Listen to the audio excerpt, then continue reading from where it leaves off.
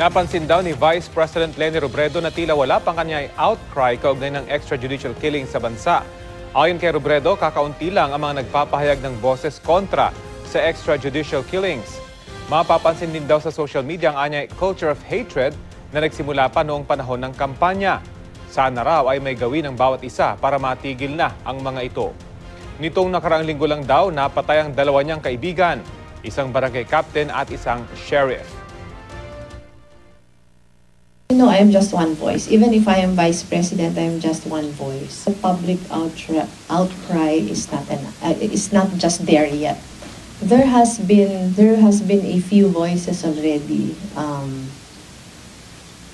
out there um, against extrajudicial killings. I, I think all of us should should do our share in in making sure uh, that um,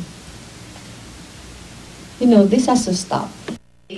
Sinabi po yan ni Robredo sa kanyang pagdalo bilang panauhing pandangal sa National Empowerment Conference ng National Federation of Filipino-American Associations sa Pennsylvania sa Amerika. Pinasalamatan din ng Vice Presidente ang Filipino community sa pagsuporta sa kanya noong nakaraang eleksyon.